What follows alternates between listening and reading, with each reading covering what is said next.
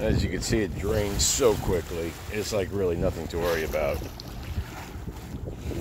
And if we pedal, we can get a little bit more speed out of her.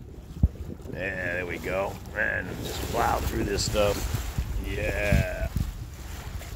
And you can see there's a there's a good cap out here. So nothing to worry about though.